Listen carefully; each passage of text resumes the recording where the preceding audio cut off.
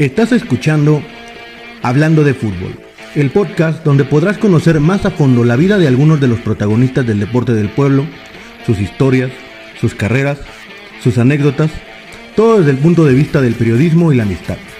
Acompáñanos.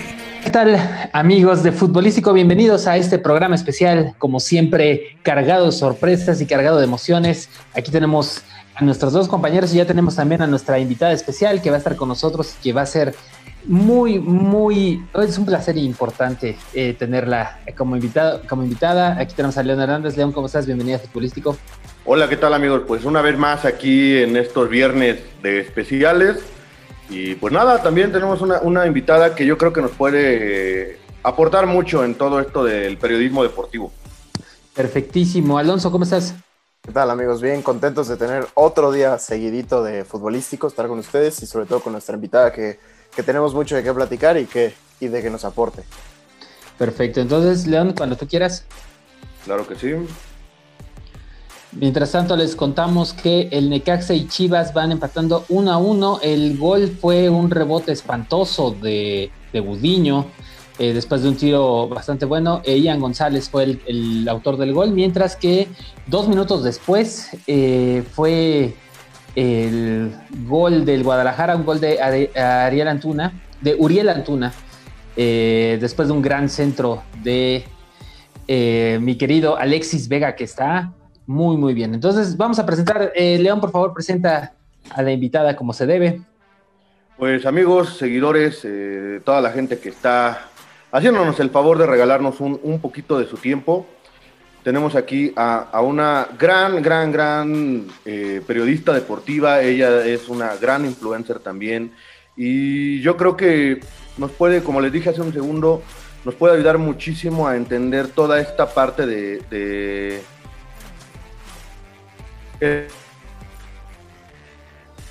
a eso, exactamente a eso. Muy bien, qué bueno que no se te la imagen. Me encanta, perfecto. eso, era lo que queríamos escuchar. Muchísimas gracias, Paulina. ¿Cómo estás? Bienvenida a Futbolístico y gracias por eh, aceptar la invitación. No, hombre, muchísimas gracias a ustedes por invitarme. Un gusto estar aquí platicando de fútbol. Ahora sí ya te destrabaste, León. No, todavía no. Dice, dice, dice que, dice que no, que se te congela la imagen porque, porque está un poquito nervioso. Pero no te preocupes. Paulina, pues lo primero, Pawis, ¿de dónde viene el nombre Pawis? Ay, pues fíjate que mucha gente me dice así, pero te digo, la neta es que no me gusta tanto.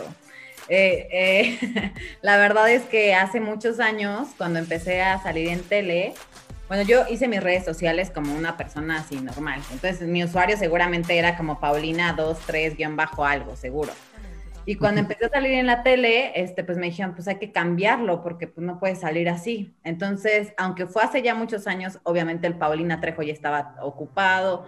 O sea, ya era muy difícil. Entonces alguien me dijo, ni recuerdo quién, ¿por qué no te pones Pauis? Y yo, pues, bueno, pues está bien. Nunca pensé que fuera, digo, tampoco es como que yo sea la celebridad, pero hay mucha gente que me conoce como Pawis. Y entonces se quedó. Y así es como, por eso no lo he cambiado, porque mucha gente me, ubica así, como Pawis. Pero realmente no me gusta. O sea, por ejemplo, la gente que me conoce, mi familia y así, nadie en mi vida me había dicho Pawis antes.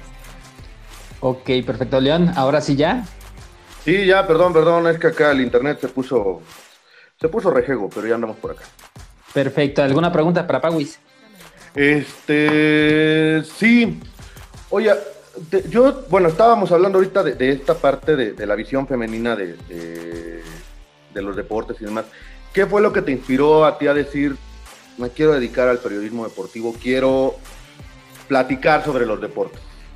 Pues fíjate que fue azares del destino, o sea, yo cuando empecé a estudiar comunicación, eh, empecé a estudiar porque yo quería ser locutora de radio. No sabía exactamente bajo qué enfoque. Bienvenida a mi mundo. y, y, la verdad te admiro y, y, te envidio un poco porque nunca se me ha hecho tan como tal, ¿sabes? O sea, como tal, nunca lo he hecho. Entonces, bueno, yo empecé a estudiar comunicación por eso. A mí siempre, yo siempre he leído a la América, siempre me ha gustado el fútbol. Y algún día una persona que, que estudiaba en mi universidad pues dijo como, oigan, ¿quién quiere liberar su servicio de aquí en mediotiempo.com? Te estoy hablando de hace 10 años, más de 10 años, 12 años. Medio tiempo era como de los pioneros, las primeras páginas de internet que subía estadísticas, etcétera. Y fue cuando dije, bueno, pues yo, a mí me gusta el fútbol, yo creo que está chido y tal. Y así fue como entré. O sea, realmente nunca fue así como de, voy a estudiar comunicación para dedicarme a los deportes. La vida me fue llevando. El, deporte siempre ha sido parte de mi vida, no lo practico como tal, o sea, hago ejercicio y todo, pero nunca he sido buena para los deportes de conjunto. Pero sin embargo, siempre me ha gustado ver el fútbol y yo soy americanista y, de, de fútbol desde que soy niña. Perfectísimo, Alonso. Bueno, antes que nada, este, bienvenida, este, Paulina. Tengo dos puntos para ti. La primera es, ¿cómo decirle, decirle a ese equipo tan, tan, malo? Pero bueno, eso no lo vamos a discutir. ¿Por qué empieza tu, tu amor Bueno, a ver, tú no, estás, no estás en ninguna posibilidad de decirlo. ¿A qué le das, Alonso? Ah, yo le voy al, al, mejor de todos, al poderosísimo Toluca. No, bueno. Que va mal. Podría ser peor, podría ser peor como eran los Pumas, por ejemplo, ¿no? Pero bueno. Límpiate, la, lávate la boca cada vez que hables de los Pumas. Uy, uy, uy. Bueno, entonces la primera pregunta es ¿por qué, ¿por qué decides ir a la América? Y la segunda es ¿cuál es tu primer recuerdo que tienes en el Estadio Azteca? Pues mira, decido irle a la América porque mi papá le va a la América. Pero no fue como de, ay, hija, vele a la América. Mi papá le va a la América y mi mamá le va a las chivas. Y a los dos les gusta ver el fútbol. Entonces, cuando yo era niña, recuerdo que mi papá se ponía a ver el fútbol y yo veía con él los partidos de la América. Estaba muy chiquita, yo no sabía qué onda, o sea, yo veía güeyes corriendo atrás de un balón y X. Cuando empecé a ver los partidos, me di cuenta que era el equipo amarillo y azul y me gustaba como la combinación de colores. Entonces, yo veía el amarillo y azul y veía el blanco y el rojo de mi mamá y decía, no, yo la neta le voy a ver los de amarillo. Prefiero los de amarillo. El blanco y el rojo es mejor, ¿eh? yo lo digo. no, no lo sé, no lo sé, Rick. Pero fíjate que este, entonces fue así. Mi primera elección fue por el color. El amarillo y el azul. Yo le voy a los amarillos. Y ya después fue como, este, me empecé a dar cuenta que cuando yo decía en la escuela que le iba a la América, como que era así de, ay, guácala y tal. Y había unos que sí, el mejor equipo. Entonces, como esta parte de que era el odiado, o lo amas o lo odias, siempre ha sido como una parte que a mí me gusta mucho. Siempre comulgo con, con ese tipo de líneas. O amas o odias, ¿no? Siempre yo soy o blanco o negro. Entonces fue así que le empecé a ir a la América. Yo recuerdo eh, que mi papá me llevaba al estadio, mi papá tenía un amigo que tenía un palco en el estadio, entonces íbamos muy seguido, pero la verdad es que el, recuerdo que más memorable que tengo fue una final de América contra Necaxa en el Estadio Azteca en el 2002. Ya no estaba tan chiquita, yo ya iba en la secundaria, me acuerdo, pero fue la primer final que vi, o sea, la primera vez que vi a mi equipo campeón en vivo. Entonces, la verdad es que esa fue así como memorable y no se me olvida. Y ese cuadro titular del América, para mí, neta, lo tengo así, en mi corazón. O sea, Ríos en la portería, Lipatín, eh, Cuauhtémoc, la neta, ese era mi hit. No, hombre, e, ese, fue un buen eh, equipo del América. No, no puedo negar que, no, que, no haya, que no hay buenos equipos del América. Pero, Pauis, ¿En qué momento te diste cuenta que tu pasión era realmente hablar sobre deportes? O sea, donde, eh, eh, además, más allá de que si le vas o no a la América o, cualquier parte de, de, de ¿cómo decir, fanatismo, ¿en qué momento te diste cuenta que tú podías hablar de deportes? Pues mira, desde que iba justo en la secundaria, que era cuando, bueno, más desde la primaria recuerdo eh, que nos ponían el, mundial, nos pusieron el mundial, el de Francia, y entonces como que yo era de las pocas niñas que, les, que se metían en el partido, ¿sabes? O sea, como que muchas les valía y pues, sí, medio veían, etcétera, y yo me metía. Cuando yo iba en la secundaria, pues ya era como más. Entonces ahí ya empezaba a ser una voz de autoridad en mi salón, porque era como de las pocas niñas que decían que me gustaba el fútbol y que yo le iba a la América. Entonces era muy cagado porque había gente, eh, hombres sobre todo, que me preguntaban, ¿y cómo quedó el AME y tal? ¿Sabes? O sea, como desde ahí empecé como a, a desenvolverme en ese medio. Cuando ya em, eh, me comencé a dedicar eh, a esto de manera profesional, eh, empecé como por la parte, yo siempre he sido periodista deportivo, pero muy enfocado al entretenimiento. A mí la verdad es que no me gusta que se vea el deporte como física cuántica, como algo, porque al final es entretenimiento. Yo nunca me he vendido como analista, ni soy directora técnica, ni sé muchas cosas. Me hace falta muchas cosas por aprender. Entonces yo lo veo desde la parte del aficionado. Entonces fue desde ahí, desde que yo era niña y ya de manera profesional, pues cuando me empecé a dedicar en medio tiempo, pues obviamente yo hacía mi chamba, hacía mi chamba de ver partidos, de leer, de aprender. Estuve rodeada de gente muy importante del deporte que me, daban tips, me enseñaban y, fue ahí. Perfecto, León. Eh, ahorita estás hablando de esta parte de, de hablar, bueno, de, hablar, de, ver el fútbol, de, estar ahí metida, de conocer el deporte, de, de incluso seguirlo. Eh, ¿Por qué crees que, existe esta parte del tabú de decir, no, las niñas no pueden ver fútbol, las niñas tienen que estar este, jugando con las muñecas y demás? ¿Cómo, ¿Cómo es que se rompe ese molde? ¿Cómo es que se rompe ese tabú de decir, oye, no, las mujeres, a las niñas, a todos en general, no importa género ni, ni distinción, puede, puede haber este, puede ser que le guste el fútbol y que le interese ver el fútbol y no precisamente, pues porque es algo que que está inculcado, ¿no? ¿Cómo, cómo crees que se puede romper esa, esa barrera? Pues yo creo que se rompe, es, es, difícil romperla porque estamos inmiscuidos en una sociedad sumamente machista en la que el fútbol es para los güeyes, punto. O sea, desde que los hombres lo juegan, ¿no? O sea, últimamente, afortunadamente, de unos años para acá se ha abierto un poco la, la puerta a, a, los equipos de la liga femenil que ya de repente ya jugaban en, en los estadios de los primeros equipos de la liga MX, por ejemplo, la verdad creo que es complicado y es más complicado porque eh, muchas eh, mujeres se han dedicado a, prostituirse, va a escuchar muy feo, pero esta, esta, esta profesión.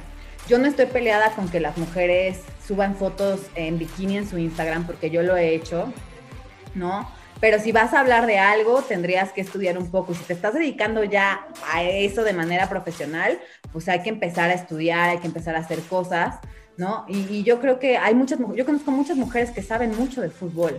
Desafortunadamente, como es un deporte para hombres, se escucha muy feo, pero pues si no estás guapa, pues sí sabes mucho de fútbol, pero la neta no te vamos a dar un espacio aquí, ¿no? Entonces, eh, yo creo que cambiar el chip de tanta gente es complicado, pero se tiene que hacer cada uno cargo desde su trinchera.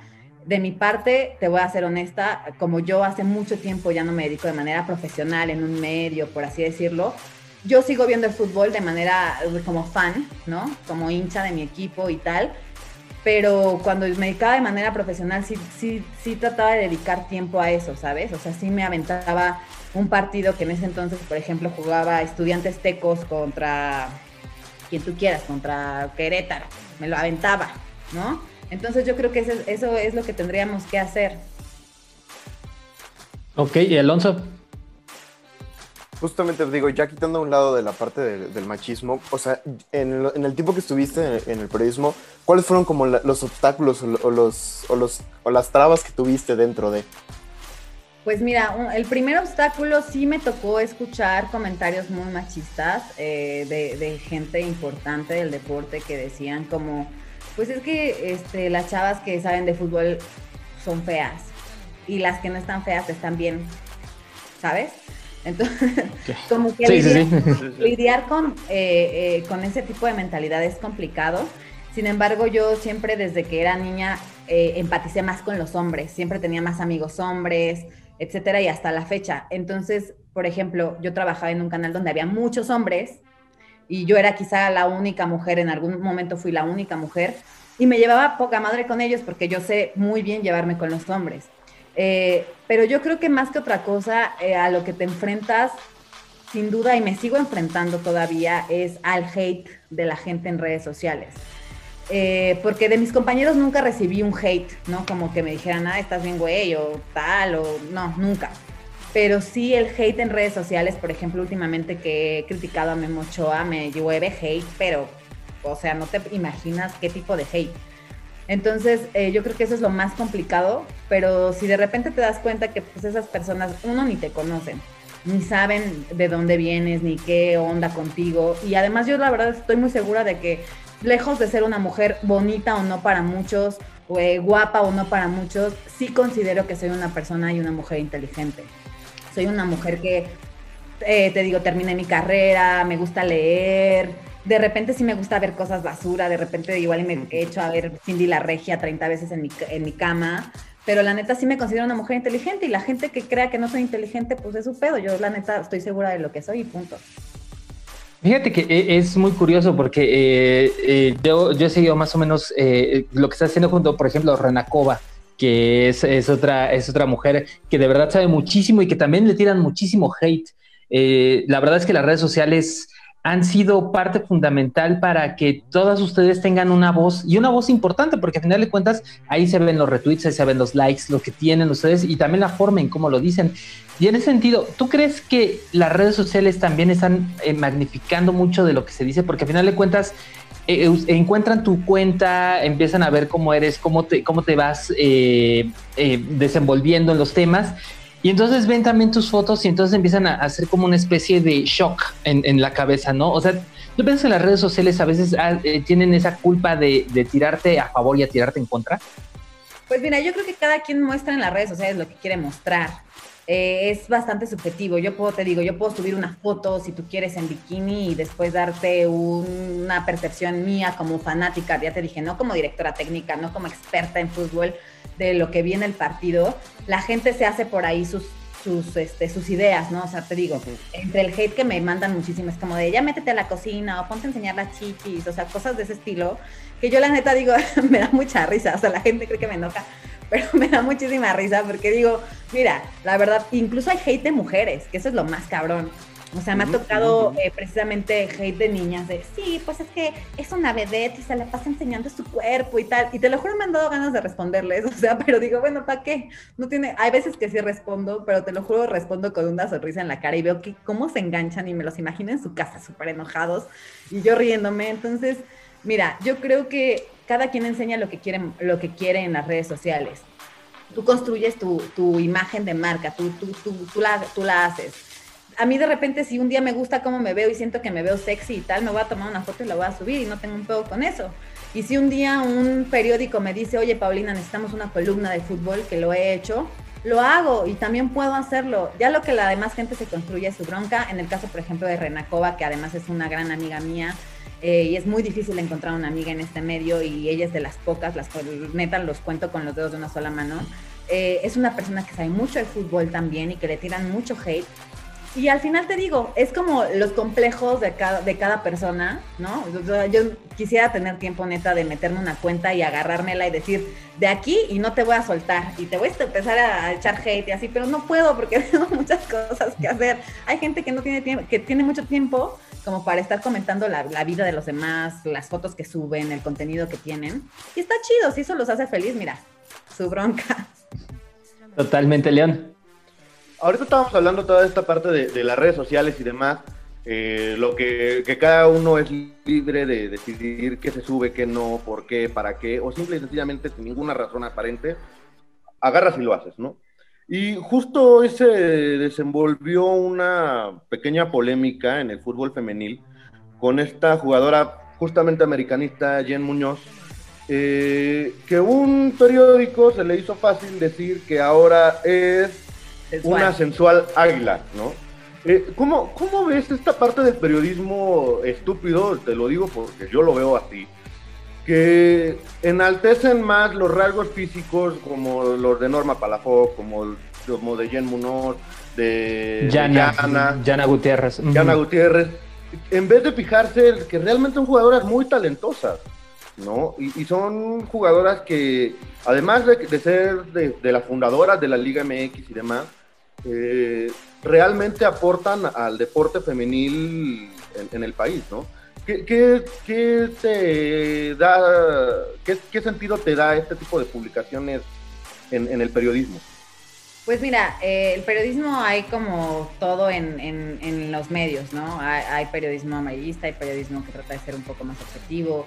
Este tipo de publicaciones, la verdad, leí, la, leí el tweet que puso James justamente que dijo que no, bueno, mostrando un poco su desacuerdo con la publicación y enojándose un poco diciendo, no solamente soy sensual, soy una jugadora profesional de fútbol que además rinde frutos en uno de los equipos más importantes de México. Eh, yo la verdad creo que una cosa no está peleada con la otra. Sin embargo, si tú eres un periódico de deportes, yo creo que antes de decir que Jen es guapísima y es sensual y es sexy y es carismática y lo que tú quieras, tendrías que primero decir que es una jugadora profesional, que se desempeña bien en el terreno de juego, todas las virtudes, porque tú eres un periódico de deportes, no eres la revista quién.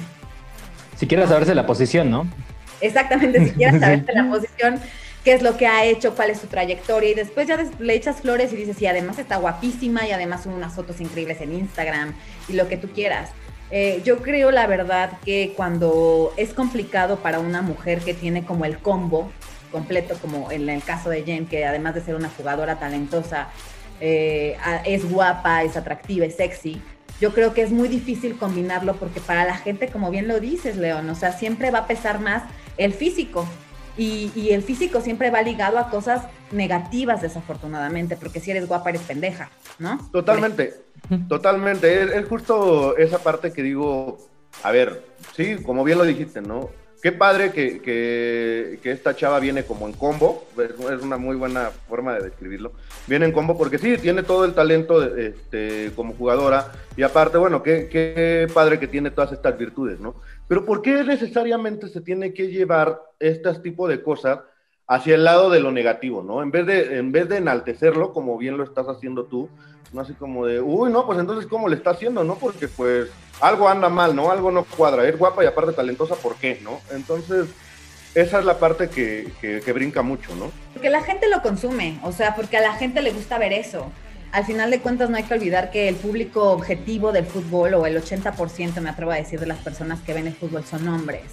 Entonces, bueno, al final siempre, eh, y, te pasa no solamente en el fútbol, o sea, cuántas amigas no conoces que lo primero que, o simplemente ustedes, cuando han tratado de ligar a una chava, te puedo asegurar que lo primero que dices es, hey guapa, ¿cómo estás? Oye, qué bonita estás. Nunca le dices, oye, la neta creo que eres una persona muy inteligente o la verdad creo que tienes talento para esto, ¿no? O sea, siempre la flor va primero como por el físico, ¿no? Entonces, esa es como la mentalidad del hombre y desafortunadamente, pues los que consumen fútbol en su mayoría son hombres y eso es lo que venden. Puri, ya toma nota de esto, por favor. Ya, ya no te queremos soltero por más tiempo, por favor. le mando un beso a mi novia hermosa que me está ah, viendo. Muy bien, muy bien, perfecto. Pero bueno, eh, ya quitando, bueno, yo, yo, entrando en un tema un poquito más eh, complicado, ¿cómo ves actualmente a los dos equipos, tanto el equipo varonil como el femenil en América? Mira, la verdad es que al equipo femenil te sería muy mentirosa si te dijera la sigo muchísimo, etcétera. La verdad es que no he visto ningún partido de la femenil últimamente. Eh, vi uno de gallos de hace como dos o tres semanas eh, y ha sido lo único que he visto. En la parte del equipo varonil del Club América, la verdad es que creo que tenemos algunos jugadores como Giovanni Dos Santos, por ejemplo, que no deberían de estar ya ahí, que solamente están como cobrando un sueldo sin hacer absolutamente nada, es un jugador indisciplinado, es un jugador que se muchísimo, eh, que no le ha dado nada al club. Lo contrataron, yo creo, como figura mediática porque pensaron que iba a ser un, boom y que iba a vender muchísimas camisetas, pero realmente no ha rendido objetivos. En cuanto al tema, por ejemplo, del Piojo Herrera, creo que es un, y lo he dicho constantemente, es un gran estratega, un gran motivador, aunque la gente se empeñe en el hashtag fuera Piojo, yo creo que sería un grave error sacar a Piojo Herrera en estos momentos, porque nos ha dado mucho como, como director técnico. Y creo que hay que explotar varios talentos del Club América. En el último partido que se tuvo con el Piojo Herrera, los cambios estuvieron increíbles. El cambio de la línea de 5 a línea de 4, resultó, ¿no? Se ganó, a pesar de que íbamos perdiendo. Entonces, la verdad, al América yo siempre lo veo como una opción para, ser campeón. La realidad es que sí, tenemos la obligación de entrar sí o sí a la liguilla como equipo grande de este país. Eh, entonces, eh, yo creo que el América sí está como para ser campeón. Ah, ah, hubo por ahí, ya saben, un, cambio y un ajuste en, en la forma de ingresar a la liguilla con el repechaje, etcétera pero yo creo que el América puede, puede ser campeón eh, esta temporada. Tendrían que ajustar algunas cosas, revisar algunos jugadores que no, te digo, no funcionan tanto, pero lo veo bastante bien. Eh, a la gente, la gente quiere que América gane y guste, ¿no? A muchos no les ha gustado cómo ha jugado, pero estamos bien. O sea, todavía antes de que se jugaran otros partidos estábamos como líderes y ahora me parece que están los Pumas. Sí, no, sí, no, no me equivoco. Claro que sí. justamente, justamente va el Toluca contra el América este, este sábado. Exactamente. Entonces, yo la verdad creo que los partidos que vienen van a ser importantes. Además, se juegan todos en el Estadio Azteca y creo que va a ser bastante bueno. Entonces yo lo, lo, único que tengo que decir es que a veces no se puede todo en esta vida, no puedes decir, me gusta que cómo juega mi equipo y además gana. igual y no te gusta tanto cómo juega, pero estamos obteniendo los resultados y al final eso es lo que importa. Y, eso es cierto, porque al final de cuentas, eh, yo en el Twitter ponía que el América lo que tiene es una crisis más anímica que futbolística, porque al final de cuentas tienen jugadores con una capacidad y un talento, ves a Federico Viñas, ves a Sebastián Córdoba, son, son jugadores que tienen talento, tienen técnica, tienen todo para ser eh, un, equipo de época, pero también tienen a Miguel, que es un tipo que es muy visceral y las decisiones que toman en el campo son viscerales. Eh, así es, lo hemos visto en todos sus equipos que es visceral eh, y, va a tomar a veces decisiones con los huevos. Y eso no está, no está mal en algún momento, pero no todo el tiempo. Eh, yo lo que te quería preguntar, fíjate que ahorita que estaban, que estaban hablando sobre el fútbol femenil, fíjate que siempre hay un como estigma. Yo lo veía con, con, una amiga mía que se llama Ivonne Almaraz, no sé si la, si la conoces bien. Sí, es una, es una gran amiga mía y, la verdad es que trabajamos juntos y yo me acuerdo que eh, en su momento la querían encasillar siempre en el fútbol femenil. Obviamente ahorita ya es súper experta, ¿no? Y, eso está perfecto. Pero tú por qué crees que generalmente las mujeres cuando llegan a, a, los medios las quieren encasillar siempre en el fútbol femenil? ¿Por qué crees que no que, que, buscan que no sean que no se encasillen tanto en el varonil sino en el femenil ahora que se abrió esta ventana? El mismo machismo. Yo creo que es el mismo machismo. Dijeron, mira, ya hay una liga femenil, ya le están haciendo caso, ya tal. Entonces a todas las mujeres tráemelas para acá, porque la verdad es que cuántas veces no hemos visto, yo por ejemplo en Twitter he visto cuántas veces se tunden a Marion Reimers, ¿no? Por ejemplo, en, la forma en la que narra. Totalmente, sí. Entonces, eh, y mucha gente dice, es que no es porque sea mujer. Si hubiera, si fuera un hombre también no lo tundiríamos porque no narra bien, por ejemplo.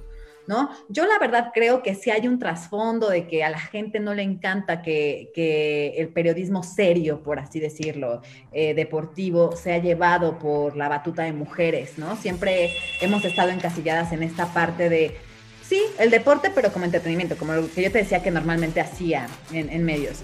Entonces, eh, creo que las mujeres han demostrado, hay muchas mujeres que sí saben de fútbol y que están en los medios actualmente, y Bon una de ellas, y que además hacen su chamba. O sea, Ivonne yo la he visto leer, yo la he visto eh, ir a los clubes, conoce un montón de jugadoras de la femenil, se sabe un montón de posiciones. Entonces yo creo que sí es una oportunidad, pero no está bien que solamente nos encasillen como, ok, chava, te quieres dedicar al fútbol, pero eres mujer, entonces te vas a la femenil. Porque no nos ven como voz de autoridad. Es, un problema grave porque al final de cuentas, ya, lo decía Menotti en algún momento y lo, he remarcado, se lo he remarcado acá a mis compañeros, que la posición de reportero y sobre todo de reportero deportivo es no ser el crítico como creen. Menotti decía que el periodismo deportivo debe ser el puente entre club y aficionado. Y hay mucho, mucho eh, espectro arriba eh, entre esto, ¿no? Eh, y al mismo tiempo están los aficionados. Y a final de cuentas también eh, la diversión que hay alrededor de los estadios, lo que, lo que a veces no es tanto fútbol, sino que lo que está en las gradas, lo que está en, el mero aficionado de sillón, en el mero aficionado que va al estadio, eso es lo importante. Y a veces ese tipo de cosas no las toman. Yo, yo, yo veo que tú los tomas muy bien y, eso lo agradezco mucho porque a final de cuentas no todo debe de ser el fútbol táctico, como bien lo dices. Entonces, eh, León, ¿quieres hacer alguna pregunta? Eh, sí, Ahorita está, bueno, esta parte del. De, bueno, ya, hablamos de la parte de romper las barreras y demás, pero ¿cómo, cómo podemos nosotros como, como comunicadores, los, cuatro que estamos ahorita en este panel, qué es lo que podemos nosotros aportar para poder empezar a, abrir más espacios? Por ejemplo, en este caso de la Liga Femenil, ¿no? De hacer que, tenga muchísimo mayor exposición, que tenga eh, una línea muchísimo mayor de respeto y que se vea más eh, la parte deportiva y si quieres eh, en paralelo con, la parte de espectáculo. Pero, pero ¿cómo podemos nosotros o cómo crees que podemos nosotros aportar a, esta parte? Pues yo creo que dándole la misma importancia que se le da al fútbol varonil, si bien no se no tenemos el mismo presupuesto, por así decirlo, no hay ni siquiera los mismos patrocinadores, ni siquiera son los mismos estadios, ni el precio de los partidos era lo mismo. Ajá. Eh, yo creo que tratar de ser eh, equitativos, ¿no? O sea, no, no podemos definir como igualdad, porque yo siempre he estado muy peleada con ese término de que las mujeres piden igualdad con los hombres y yo creo que eso no se puede porque de entrada no somos iguales.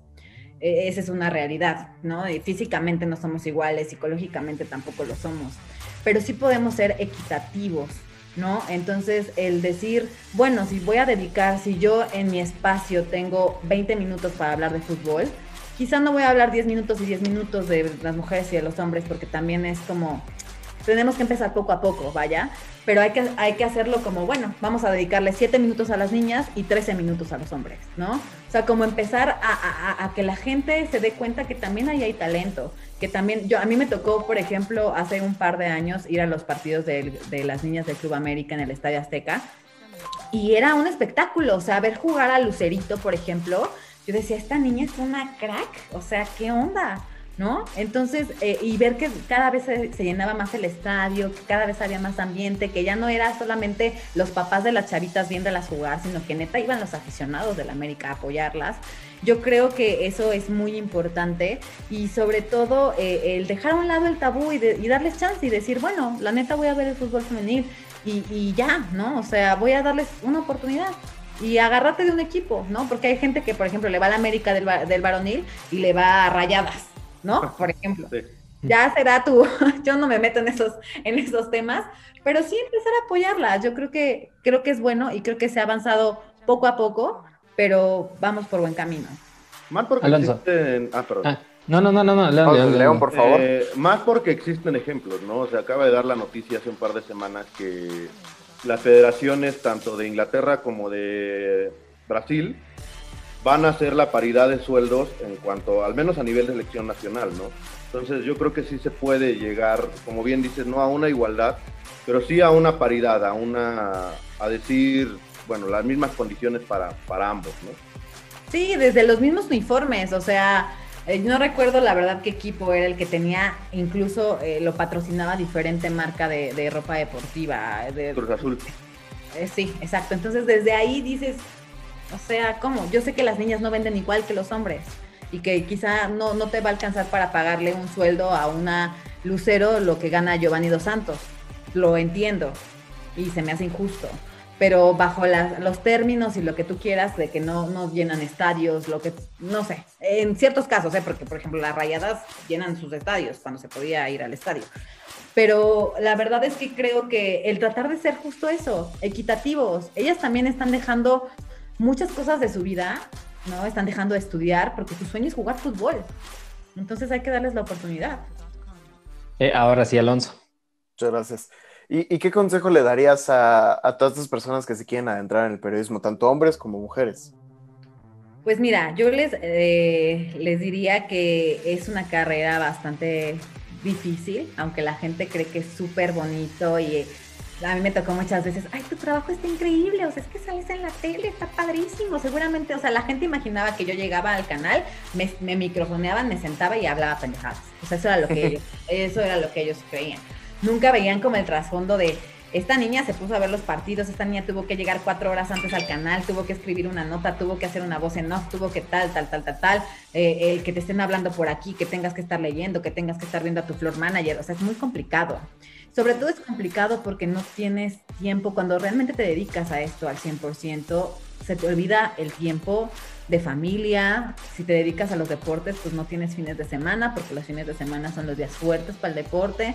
Entonces, si tú estás eh, decidido a hacer este tipo de sacrificios, lo que yo les recomiendo es que se pongan a estudiar, que traten de ser mejores, que no sigan la línea de copiarle a nadie, ¿no? No, no querer ser el segundo José Ramón de este país, ni mucho menos.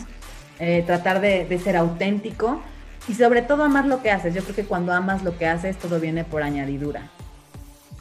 Es, complicado. La, bueno, uno, que cubre, que cubre a un equipo es, es, es, terrible. Yo en algún momento perdí una novia por eso. Eso fue horrible. Pero ni modo, ni modo. O sea, pues es que no le tenía tiempo para el fin de semana. Ahora lo bueno es que ya vivo con alguien y ella ya, ya entiende perfectamente que si a las 9 de la mañana me tengo que levantar para llegar a las 2 a un estadio y tengo y llego a las 4 de la tarde a hacer una nota, ¿no? Y eso es, eso es algo que, como que la gente no, no sigue, sigue sin entender, ¿no? Piensa que uno es Ticketmaster y también te están pidiendo un chorro de boletos cuando ni siquiera, ni siquiera, ni siquiera para ti tienes, ¿no? Y son cosas, son cosas importantes. Y yo, yo te preguntaría, hoy por hoy, eh, ¿qué tanto es el nivel periodístico en el cual eh, la gente puede divertirse con un programa, pero al mismo tiempo informarse, porque creo que ya hemos, hemos rebasado los límites, ¿no? Los límites de la polémica, así de la polémica ultra grande de vamos a llamarle a este directivo para ver si corren a alguien en vivo y en directo, y también la otra donde simplemente se la pasan como papaloteando, ¿no? En, en, la, en la situación. ¿Tú crees que debe de haber como una, un nivel, como un, este, una nivelación entre eso? Yo creo que debe de haber eh, contenido para todos, pero debe de estar muy, eh, ¿cómo te diré? Muy bien separado. Si bien el, el, deporte está, es entretenimiento, también entiendo que hay una parte táctica, también no estoy peleada con eso, pero yo no soy de esa parte, yo no estudié para eso.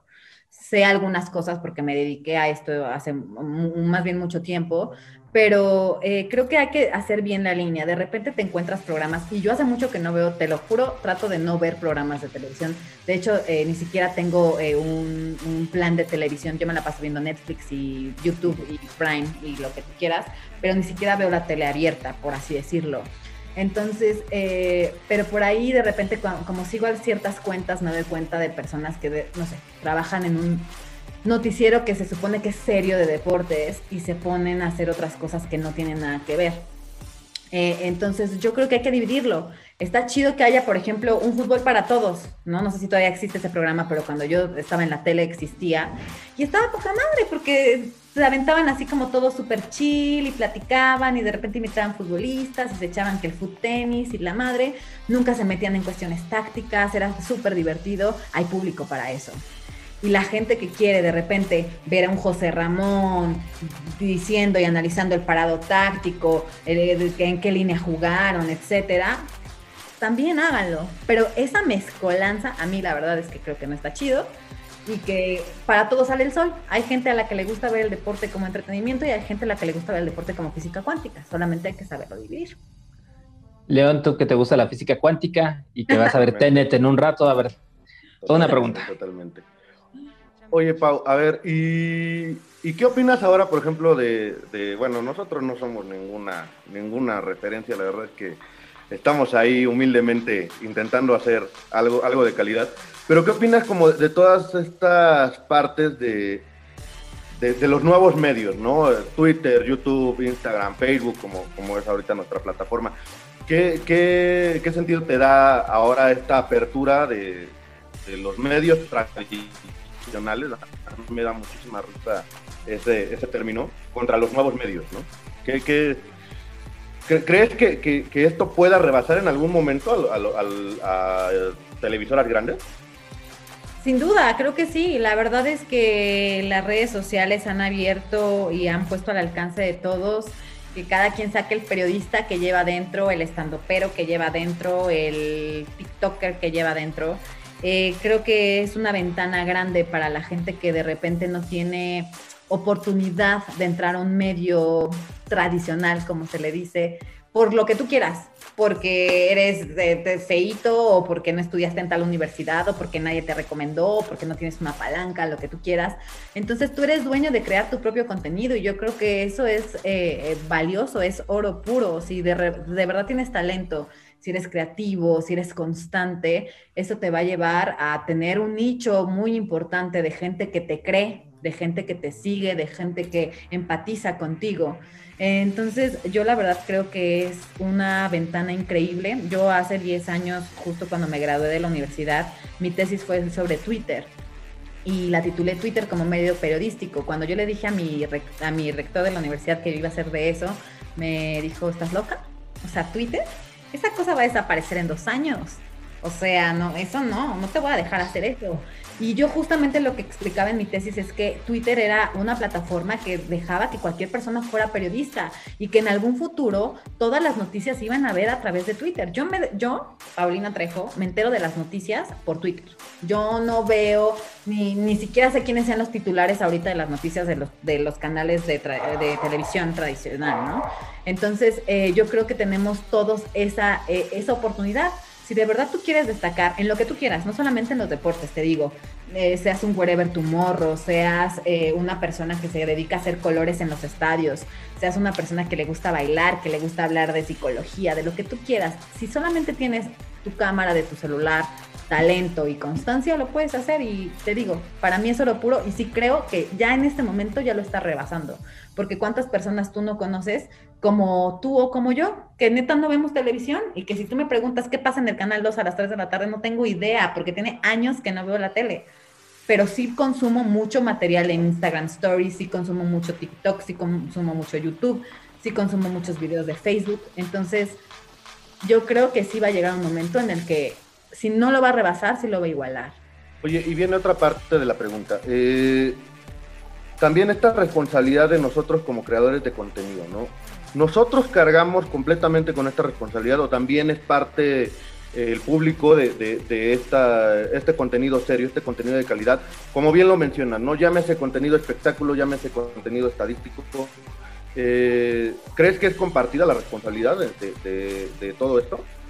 Sí, sin duda es compartida. Mira, como te digo, el sol sale para todos y creo que hay eh, consumidores de, de X material de todo tipo mucha gente se queja porque dicen, no, es que él hace contenido basura. Se graba haciendo bromas, por ejemplo. A mí eso no se me hace contenido basura y te voy a decir por qué. Porque si tú abriste tu computadora y viste un video de 20 minutos que te hizo reír, que quizá no te enseñó absolutamente nada, pero te hizo reír, te hizo el día, te hizo olvidarte de tus problemas un momento, no es contenido basura. Eh, la gente se ha empeñado en estar queriendo que todo sea el canal 22, ¿no? O sea, no, que te enseñen siempre, ¿no? Siempre tiene que ser lúdico el pedo, siempre tiene que ser este, de aprendizaje, etcétera. Y no, la realidad es que no. Mientras sume en tu vida, yo creo, de la forma de la que quieras que sume. Yo, por ejemplo, veía los, hace mucho, ya hace mucho que no lo veo, pero veía los, los videos de Luisito Comunica. Y me encantaba porque aprendí un montón. Decía, igual yo nunca voy a ir a ese país pero yo ya sé cuál moneda tienen, yo ya sé que no comen esto, yo ya sé que visten así, yo ya sé qué tal, ¿sabes? Que es algo que a mí me nutría, por así decirlo. Y no, no era necesariamente que me hablara de cosas como, eh, no sé, literatura del siglo XIX, ni mucho menos. Entonces, eh, yo creo que hay contenido para todo. Sí creo que se está pasando las malas eh, mañas de los medios tradicionales a los medios digitales, también lo creo, que se está viciando como eso, pero no es la culpa de los creadores de contenido, es de nosotros como espectadores, porque hay gente que lo consume. Y te digo, yo no los juzgo. Si a la gente le gusta ver a una niña que, no sé, enseña clases de pole dance, pues está bien. Si te gustó, si, si te dio un taco de ojo, ya te hizo el día, quizá. Y para mí eso no es contenido basura. Total, totalmente de acuerdo. Alonso. Perfecto, y justamente ahorita que hablas de todos los creadores de contenidos, o sea, ¿cuáles son los tus top 3 de ahorita que dices, estos me hacen reír, estos me nutren, etcétera? Pues mira, fíjate que de creadores de contenido, ahorita eh, estoy viendo, tengo un amigo que se llama Paul de Fútbol al Chile y hace una cosa muy cagada en, antes iba a los estadios, pero ahora pues se ha tenido que adecuar un poco y me gusta mucho como que sube sus reacciones a los, a los partidos, porque el güey se me hace muy cagado y además como lo conozco, eh, creo que es como mi dosis de soma de puta, o sea, igual y no estoy con ellos en el estadio, pero los estoy viendo desde, desde YouTube. Eh, veo, por ejemplo, mucho eh, este tipo de contenidos de reacciones a los estadios y tal. Y también me gusta de repente ver cosas veganas, porque igual no se sepan, pero yo soy vegana, entonces de repente me gusta ver como ciertos canales de, mi vida vegana, etcétera, que me dan ideas como para cocinar y tal. Y de repente soy como muy miscelánea. A veces veo qué te gusta. Este, veo videoblogs de gente que se graba todo el tiempo sus vidas. Eh, veía antes una niña que se llamaba Carla Celis, que no sé si usted lo haga, pero Carla Celis que este, grababa con su familia y me entretenía. Te lo juro, yo la ponía y me ponía a trabajar de repente y escuchaba entonces yo creo que esas son mis, las cosas que veo en, YouTube. Fíjate que, es, eh, voy a preguntar algo muy curioso. La verdad es que yo, bueno, eh, quienes siguen a la cuenta de arroba el desconocido, sabrán que pues obviamente yo todo, todo lo que subo literal es de Pumas. Es muy poco lo que subo de otros equipos. Eh, obviamente yo siempre me he basado mi carrera eh, porque cuando yo hablé con diferentes compañeros de Argentina, de Chile, de Bolivia, todos ellos, me di cuenta que tenían la parte del reportero de fuente, ¿no? Y el reportero de fuente no es que pudiera hablar de todos los equipos, sino simplemente se especializaban en el equipo de sus amores, ¿no? Yo, yo tengo muchos amigos que, que son reporteros fuente de Independiente de Avellaneda, de Boca Juniors, de River Plate, eh, de Colo Colo, ¿no? Entonces, y aquí yo veo que hay como cierto escosor de que no puedes realmente ser reportero si le vas a alguien o si te, o si te vas directamente a un equipo, ¿no? Porque tienes que ser súper imparcial, tienes que ser, eh, tienes, tienes que no cegarte por el equipo, porque bla, bla, bla, ¿no? Y entonces eso no es una convicción mía. Al final de cuentas, yo cuando hago una nota la hago porque quiero hablar de eso y no importa que le tenga que tirar mal a Pumas, si juegan mal, tienen que jugar mal, si juegan bien, juegan bien. ¿Tú qué piensas de que aquí en México tiene que haber siempre una neutralidad de equipos? O sea, siempre tienes que ser, no, no, no, tienes que hablar de todos los equipos, si no, no eres un reportero bueno. ¿Tú, ¿Tú qué piensas de eso? Yo creo que este em, empeñarse en el ser objetivo todo el tiempo es en contra de la naturaleza un poco, porque no somos, dicen, es que tienes que ser objetivo, no puedo ser objetivo porque soy un sujeto, y desde que soy un sujeto soy subjetivo, o sea, por más que yo trate de decir que tal, no lo voy a lograr. Eh, creo la verdad que si hablas de todos los equipos, igual y para la gente, para algún nicho de la gente, eres una persona conocedora, ¿no? O sea, del deporte en general. Por ejemplo, el fútbol. Él sabe de fútbol, ¿no? Ah, pero él sabe de Pumas. Entonces, yo la verdad creo que eh, tú decides qué es lo que quieres hacer. En mi caso, trato siempre de hablar solo de mis equipos. Y si tú me preguntas, si te voy a ser súper honesta, si tú me preguntas ahorita, dime cinco jugadores de Necaxa, no te los voy a decir, porque yo no veo Necaxa, más que cuando juega con el América. Si me dedicara al fútbol, si yo ahorita estuviera en un medio deportivo, me pondría a hacer mi chamba, pero como la estoy viendo como antes, entonces la neta es que no lo hago pero eh, creo que sí te tienes que especializar en algo porque dicen por ahí que todo es igual que nada. Entonces tampoco puede ser todo lo... Es mejor saber solo de un equipo que quererte meter con todos porque pues al final tampoco se puede. Es, bastante complicado, pero aún así aquí le hacemos al mamado, así que no hay ningún problema. León, ¿cómo estás? Este, sigue la pregunta, por favor.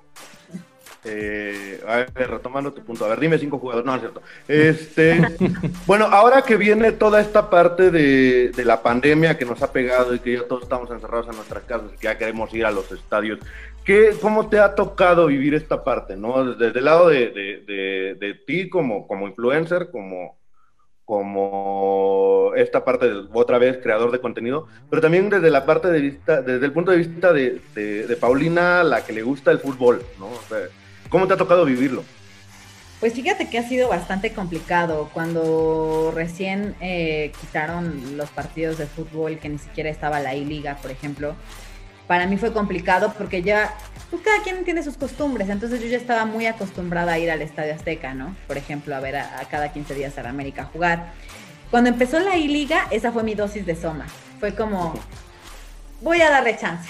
Y te lo juro que cuando eh, lo, pusieron como en, en la mesa, dije, esto es una tontería. O sea, no me vengan a decir que voy a ver partidos de consola en la tele.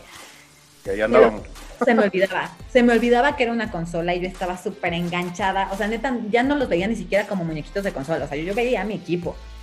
Entonces, eso me ayudó un poco. Eh, la verdad creo que en la parte de creador de contenido es muy complicado. A mucha gente se le ha abierto la oportunidad de de repente, pues, pues ahora estoy en mi casa y hacen más contenido. Habemos personas que pues, tenemos otro tipo de labores que al contrario tenemos más trabajo con esto y es más complicado hacerlo.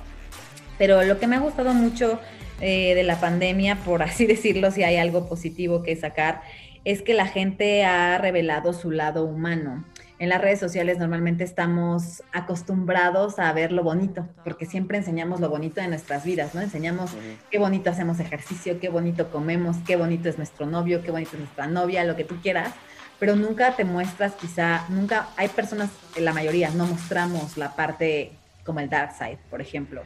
Y en esta pandemia yo me he dado cuenta de muchas personas que lo han hecho porque de repente llegas al colapso y necesitas hablar con alguien y si tu único medio de comunicación hacia el exterior son tus redes sociales, lo haces. Y a mí me tocó como a los dos meses de la pandemia casi hacer una historia llorando porque yo ya no podía. O sea, yo decía, no puede ser, estoy encerrada y tal.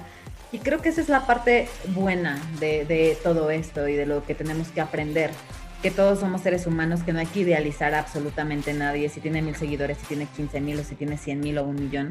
Todos somos personas, todos vamos al baño, todos comemos, todos tenemos problemas, todos lloramos.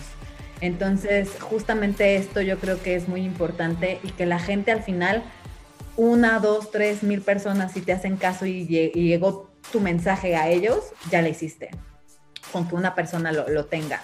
Entonces, eh, eso es lo que yo creo que nos ha enseñado esta pandemia y, esperemos que la gente pues siga haciéndolo, ¿no? O sea, dejemos de idealizarnos como personas que tenemos una vida perfecta, porque la gente eso es lo que cree, que todo mundo en redes sociales tiene una vida perfecta y no es así. No, y además antes era impensado, como, como incluso esta parte, ¿no? De, de que vean la sala de tu casa, de que conozcan tu comedor, ¿no? Eh, nosotros hemos tenido de repente aquí en el programa muchísimos fallos técnicos de que ya se nos va el internet, de que, bueno, ahorita se me trabó. Y la del perro, pasa el de los tamales. bueno, acá mi gato ha salido dos veces, ¿no? Entonces, esta parte yo creo que también te humaniza muchísimo, ¿no? Sí, exacto, te eh, enseña eso, porque mira, yo la verdad es que en ningún momento yo me creo famosa, ni mucho menos, pero sí conozco gente que tiene quizá muchos seguidores y que la gente la idealiza o sea, lo idealizas. Y ustedes que están en el medio quizá no les pasa tanto porque llega un momento y es lo que yo le digo a la gente y, y justo me voy, voy, a regresar un poco a lo que me decía hace rato Alonso, sí creo que era Alonso el que me decía, eh, el consejo es que cuando tú te vas a dedicar a medios, vas a perder el encanto y la fantasía de muchas cosas y debes de saberlo y debes de estar consciente. Y ahí va justo a esa línea. ¿Por qué? Yo recuerdo la primera vez que entré al Club América, entré al Club América como periodista. Y antes de entrar, yo estaba, mira, emocionada. La gente con la que yo iba me dijeron, a ver, brother, tú vienes a trabajar. O sea, no te quiero pidiéndole fotos a Germán Villa. O sea, no quiero que eso lo hagas porque eso no es profesional. Entonces, bueno, yo la primera vez así, ¿sabes? O sea, como de, no puedo pedir fotos, estaba Cabañas, estaban muchísimos jugadores y yo decía, bueno, pues ni modo después de que vas 60 veces al Club América y que te topas a quien tú quieras, a Memo Ochoa, a quien tú quieras, enfrente de ti, a Marchesina, quien, yo, yo vi desfilar muchos jugadores del Club América. Ya es tan común que pierdes justo eso, pierdes como la fantasía que mucha gente todavía tiene. Y entonces empiezas a ver a la gente de tele, a la gente de fútbol, a la gente de entretenimiento, de espectáculos, como lo que es, gente normal, como tú. No los idealizas para estar en este medio debes de hacerte esa idea, que vas a perder eh, eh, esa magia, esa fantasía. Y justamente lo que decíamos de las redes sociales, mucha gente idealiza a la gente de las redes sociales y no está bien porque todos somos seres humanos. Entonces, este, este, esta pandemia eso nos ayudó a, demostrar eso y que una persona puede llorar. Andrea Legarreta puede subir una historia llorando porque está hasta la madre de la pandemia. Eso no se veía antes. Creo que es muy, es muy cierto eso de que ves muy, muy, humanos a los, a los futbolistas, sobre todo cuando los ves tan de cerca y sobre todo cuando en algún momento los viste. Sí, eh, me pasó en algún momento con el Chaco Jiménez. Uh, yo, yo admiraba mucho al Chaco a pesar de que no era de Pumas y habían anunciado que se había retirado. Entonces yo tuve que ir al estadio, tuve que ir a cubrir, llegó y agraciadamente él se fue no con el camión, él se fue caminando hacia su coche, porque yo supongo que se iba a ir. Yo me quité mi acreditación, yo la guardé en mi mochila y fue cuando le dije, Chaco, ¿me puedo tomar una foto? Muy bien, muchas gracias, se acabó. Porque yo ya, porque hay un momento donde ya puedes partir, ¿no? El lado de, bueno, ya se acabó mi chamba, ahora sí. puedo tomarme mi foto. Simplemente por el hecho de que yo sabía que quizá ya era la última vez que lo veía como jugador. Entonces, pero sí, sí los empiezas a humanizar más, como que ya no te sorprende tanto ver a alguien como Guiñac, que yo, yo veo que mucha gente se, se impresiona con Guiñac. No me recuerdes a Guiñac porque por él me quitaron la acreditación. sí, ya sé que...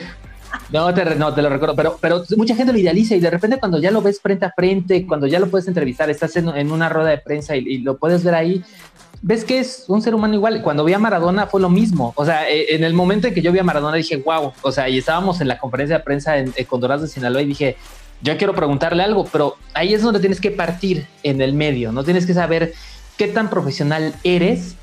Y, ahí es donde también se parten los medios, ¿no? ¿Qué tan profesionales son los medios y qué tan profesional es alguien que a quien le dieron una acreditación y la desperdicia por cosas como esta. Claro, por fanear, o sea, se vale fanear, pero hay momentos, ¿no? Hay momentos y así como lo pierdes con la gente, también lo pierdes con las experiencias, ¿no? O sea, por ejemplo, yo que me ha tocado también pisar muchas canchas de estadios, pues ya después ya ni sientes nada, o sea, es como otra vez estoy en la cancha del Estadio Azteca, que me gusta, lo disfruto, pero nunca como la primera vez. Eso está feo, pero bueno, al final yo creo que también nos deja como un, poco de enseñanza, ¿no? De, saber que toda la gente es igual que nosotros.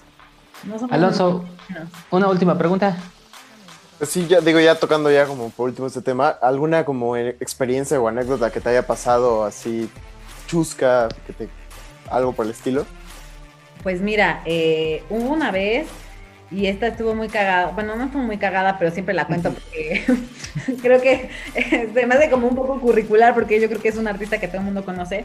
Cuando yo me dedicaba a hacer, eh, se llamaba la cápsula patadas de ahogado en medio tiempo, que era mi sección. Eh, era justamente la mezcla de deporte con entretenimiento y me tocó entrevistar a David Bisbal, porque David Bisbal tenía la canción del Mundial de Sudáfrica 2010. Yo la verdad estaba rayada, porque faneando, ¿sabes? Así de, o sea, David Bisbal era David Bisbal en esa época, ¿sabes? Sí, claro, claro. bueno, yo llegué obviamente profesional y ya sabes, pues puedo tener. Ok, yo le hice la entrevista a David Bisbal, teníamos una dinámica en la que teníamos una portería y le decíamos que tenía que tirar a gol. Y David Bisbal tuvo a bien darme un balonazo. Este, lo hizo muy mal, me pegó, y perdóname, que no sé qué. Yo jamás me imaginé, si a mí me hubieran dicho ah, cuando era el, boom de David Bisbal, ¿no? Con bulería o cuando salió de, este reality de España, un día David Bisbal te va a pegar un balonazo, nunca lo hubiera creído. Y eso fue, yo, ha sido una de las anécdotas más cagadas que me ha pasado. Y otra que estuvo bastante fea, pero me dio mucha risa, fue una vez que estaba en el Estadio Azteca y, y me gritaron, Pawis, pero te digo que casi nadie me dice Pawis, o sea, es muy raro. Pero volteas, ¿no? Yo pensé que era alguien que me conocía, o sea, que yo conocía. Y eran tres güeyes. Y me dicen, volteo, y los tres me hicieron, chingas a tu madre. Me dio muchísima risa, te lo juro. No supe dónde meterme, me dio muchísima risa, pero es cuando te das cuenta que de repente, pues igual y la gente no se toma una foto contigo o no te dice, te admiro por esto, pero algo dejaste, o sea, algo hice yo para que me mentaran la madre, o sea, algo dije, algo, algo les moví, pero yo creo que son, te este, esta, esta carrera te deja muchas experiencias. Y yo creo que son experiencias que ustedes también lo saben, que nunca te hubieras imaginado que te iban a pasar, ¿no? Que estuvieras tan cerca, por ejemplo, tú, ¿no? Este, Iván, de, de Maradona. Ese, por ejemplo, es mi sueño. Maradona es mi, mi, futbolista favorito. Y yo lo he dicho, el día que yo a Maradona lo vea, le voy a decir que me firme alguna parte del cuerpo, me la voy a ir a tatuar. O sea, es un hecho me tocó ver a Pelé, por ejemplo, pero Pelé no me importó tanto porque me gusta más Maradona. Pero neta, o sea, nosotros tenemos ese privilegio y es un privilegio que no mucha gente tiene y hay que aprovecharlo y eso está muy chido. Como, anécdota, eh, una amiga mía andaba con el, porte, el defensa de Dorados y le pasó mi camiseta de, Argentina y ahí la tengo autografiada por Maradona. Entonces, sí, no, la verdad es que amo a mi amiga Andy, que ahorita está en Cancún. Muchísimas gracias, de verdad, porque sí, no, eh, es que son cosas que, pasan, ¿no? Y de verdad, te agradecemos mucho, Paulina, por, por todo este tiempo, por, por eh, estos minutos que nos diste. La verdad es que eh, fue, es una entrevista que nos sentimos muy bien. Yo veo a León con su cara de que sí, esta entrevista estuvo muy bien y para que eso pase está un poco cabrón. Entonces, este, no, pero para, muchísimas ver a, a, Curi sonriendo, que siempre está enojado. sí, no, porque siempre estamos hablando de Pumas, entonces, pues es que si por le vas primera vez, por primera vez un programa que me dejan hablar de otra cosa. Si le vas al doceavo grande del fútbol mexicano, ¿cómo quieres que hablemos de esto? No, no, hay ningún problema. Oye, nada más una pregunta, este, Paulina, ¿cuántos títulos tiene el Toluca y cuántos títulos tiene el Pumas? Nada más ahí. Por favor, ¿me puedes, ¿me puedes ayudar con esto? desde que dices el Pumas, ya valió. El Pumas, el, Pumas, el Pumas, el Pumas, el Pumas. Mira, la verdad te voy a ser honesta, Pumas es uno de los equipos que casi no me gusta. Si tú me dices, es el equipo, ¿cuál equipo te cae peor? Pumas. Más que Chivas, ¿eh? más que Chivas. Y no por nada personal, pero los aficionados de Pumas que conozco, que son mis amigos, ¿cómo me chingan? Aquí estos dos. y, falta Diego, y falta Diego, pero bueno. Los de las Chivas, pero se respeta, de eso se trata el fútbol. ya, nos encontraremos en los clásicos. exactamente, de eso, de eso se trata el fútbol y creo que eso es lo interesante. Eh, que cada quien viva su pasión, que cada quien viva con, con ese amor al equipo que quiere, porque si no, no estaríamos hablando de fútbol. Si no tuvieras la pasión por ese equipo, por, esa, por ese personaje que te hizo ir a un estadio, verlo y, apasionarte, no habría nada. Entonces, muchísimas gracias, Paulina, de nueva cuenta. Eh, ya sabemos, pero de nueva cuenta, repite tus redes sociales. Me pueden encontrar en todos lados como solo Pawis con W y S. Muy bien, perfecto. León, muchísimas gracias por estar hoy en este bonito especial de futbolístico. No, muchísimas gracias a ustedes, Paulina, muchísimas gracias por, aceptar, por estar con nosotros, por estar hablando de fútbol con estos tres idiotas y, nada, muchísimas, muchísimas gracias. No, muchísimas gracias a ustedes, neta me la pasé muy chido. Eh, Alonso, como siempre, no hables del Toluca, gracias. Bueno, muchísimas gracias Paulina por estar aquí. Eh, es un gusto tenerte y cuando gustes aquí está tu programa y pues nada más recordar nuestros 10 títulos. Nada más, nada más recuerdas vergüenzas hoy. En fin, el chiste, eh, me pueden encontrar a mí como arroba el desconocido, ahí me lamentan como siempre, no hay ningún problema, ya saben que la discusión está bien chida y hay que aguantarse los macanazos todo el tiempo. Muchas gracias, Pau. Eh, nos vemos el próximo martes. ¿Cuándo termina la jornada? ¿El martes? Martes. Eh, recordar, Guadalajara ganó 2-1 al final eh, gol al final de Alexis Vega en el último minuto y ahorita Juárez está ganando 1 por 0 al Puebla al minuto 29. Entonces, muchísimas gracias por todo. Nos vemos el próximo martes para hablar de la jornada número 10, donde Pumas va a seguir siendo líder general del torneo. Muchísimas gracias por eso. Cuídense, hasta luego. Esto fue todo por hoy.